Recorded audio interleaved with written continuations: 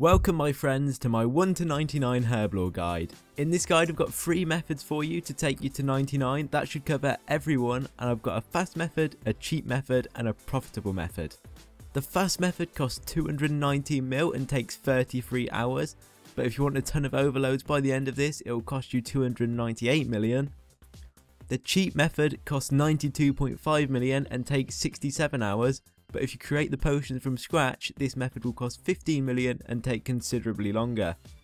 And the profitable method is cleaning herbs. This takes a whopping 334 hours and makes you 207 mil profit. I wouldn't recommend this method, but it is worth using in certain situations and I'll explain that once we get to that part of the guide. The only requirement for Herblore is to complete Druidic Ritual, as this takes you to level 3, I'll leave a link to the guide I used to complete it in the description. This quest takes about 10 minutes. So, onto the useful items now, and the first one is using portables. This is done by joining the Portables FC to find out what world and what place it is to use them. The bonus Portables gives you is a 10% more XP bonus. So for example, if you use the cheap method, you'd save 9 million GP and 6.7 hours, which is a significant bonus. It also gives you a 5% chance to create an extra potion which again saves you a little bit more money and time. The second useful item is the Scroll of Cleansing which requires 20,000 Dungeoneering tokens to be bought. This has a 10% chance to save an ingredient when adding a herb to the potion and a 12% chance to make the potion twice as fast. And the final useful item is the Botanist outfit, which when wearing all 5 pieces gives you a 6% XP bonus, which saves you a lot of money and time. However, unfortunately this is only acquirable through the treasure hunter, so that kinda sucks. So a few final bits of useful information before we get into the methods. When calculating the time it takes for these methods, I went with the assumption you'd be making around 2,250 potions per hour, which is easily beatable so if you're fully on the ball, you'll definitely beat that and get slightly faster than the time recommendations I've given. This is also done using a load preset in the bank, which I'm pretty sure everyone knows how to use now, this saves so much time. And finally, the prices will change from the time I make this video, but the time each method takes will remain exactly the same. So I've left a link to the Herblore cost calculator in the description, so you can just check how much it's going to cost you. It doesn't take long and is a really useful tool. So I'm going to start with the cheap method first as I think this is what most of you will be using. And just for this method as well, I'm going to give you the cost if you were to make the potion from scratch, so cleaning the herb and making the unfinished potion first, as this makes a significant difference to the cost of the method. From 3 to 15 you will be making ranging potions, this currently costs 1.5 GP per XP so it's super cheap. And if you choose to clean the guam, and make the Guam potions yourself, this will save you an additional 207 GP per potion, which I think actually takes it to profit. You need to make 75 of these and this will take you around 2 minutes, costing you 7200 GP. From levels 15 to 38 you'll be making Serum 207. This is made by adding ashes to unfinished Tarromin potion. Each potion costs you 512 GP 560 need to be made at a cost of 8 GP per XP and this will take you 15 minutes to complete. This will cost you 162k in total, but if you choose to make it from scratch, you will save 104k GP. And now from levels 38 all the way to 99, you'll be making prayer potions, which are made by adding unfinished Ranarr to Snapegrass. 148,608 of these need to be made at a cost of around 9 GP per XP. This is going to take you around 67 hours to complete and costing 93 million. However, if you choose to clean all the Ranarrs yourself and make the potion from scratch, this will cost you around just 15 million, but will take a huge amount of time more to do so. It's probably not really worth it, but the option is there for you. Now onto the fast and expensive method. I'm not going to give you the money you'd save by making the potions from scratch as this isn't relevant to this method. It's all about the speed of it. So from 3 to 26 you'll be making attack potions which are made with unfinished Guam and Eye of Newt. You need to make 307 of these at a cost of around 6 GP per XP. The total cost is 45k and this will take you just 8 minutes. From 26 to 38 you'll be making energy potions which are made by adding chocolate dust to Harralander potion. You'll need to make 322 of these This costs around 8 GP per XP again, costing 190k and will take you around 9 minutes.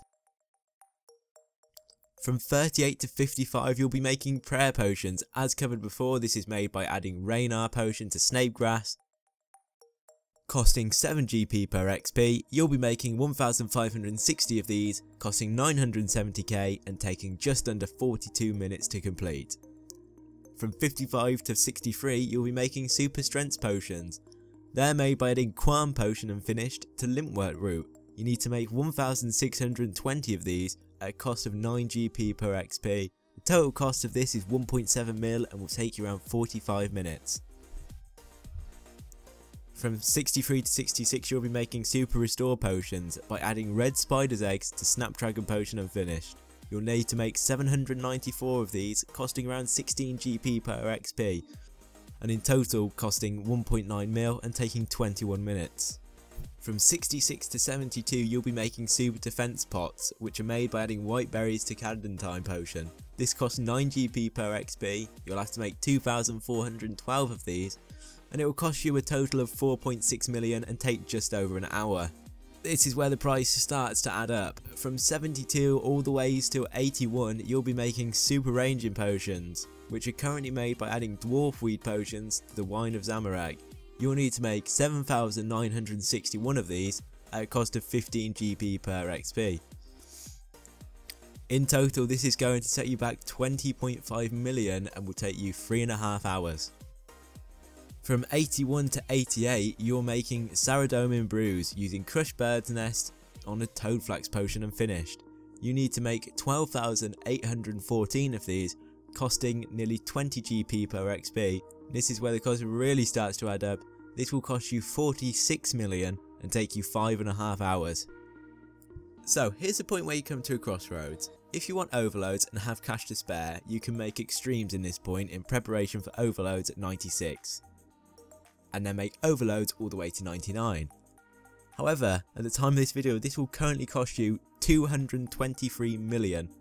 Or, if you don't want overloads or don't have the money for this, you could make Sara Brews till 94 and then at 94 make prayer renewals to 99.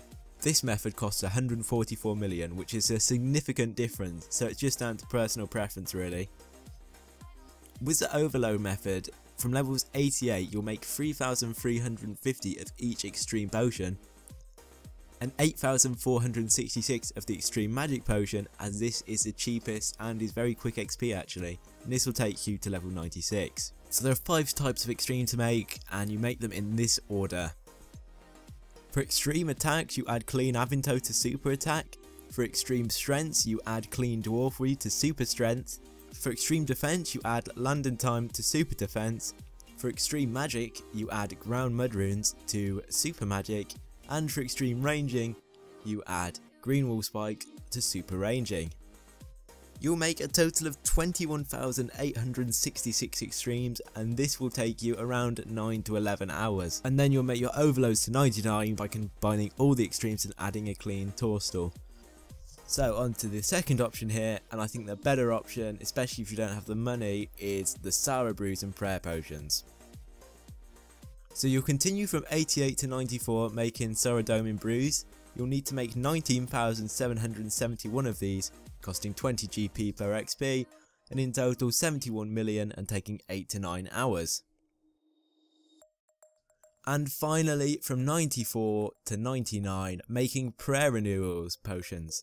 You'll need to make 26,788 of these, costing only 14 GP per XP, and a total of 73 million and taking roughly 12 hours. So the profitable but incredibly slow method that I wouldn't recommend, but if this floats your boat, the option is there. Um, is cleaning herbs. So I'd probably recommend getting to 25 Herblore first to clean Ranarrs to make a bit of profit off of them by using one of the previous methods. So in the description is a link to the herb cleaning calculator page on the RS wiki. I'll leave a link in the description for you. It basically just says if you clean a herb, how much XP you'll get and the profit you'll get on them. So, as a quick example, the fellstalk, which are the best XP herb in the game, and also I think the most profitable at the time, you'll need to clean 775,858. taking you about only 344 hours. Yeah. And this is at 4,500 herbs clean per hour, which is a fairly fast rate to keep up consistently, which, um, I mean, it's absolutely insane. So the way I'd use this method really of cleaning herbs is you can actually make some decent money off them. You're better off with other money making methods, but if, if you want to train Herblore while making money, you kind of could do it. Is once you run out of money, do a couple of hours of like cleaning Ranarrs or cleaning whatever the most profitable is at the time that you can do. And then you get in your Herblore XP and then you've got a bit of cash to then go and buy other potions and ingredients to do one of the other methods. That's the only way I'd recommend using this. So there we have it guys. If this guide has helped you in any way, be sure to leave a like and check out my other videos on the channel as there's a strong chance they'll also be of use to you. But thanks very much for watching anyway, and if there's anything I've missed or could improve on, let me know in the comment section down below, and see you later.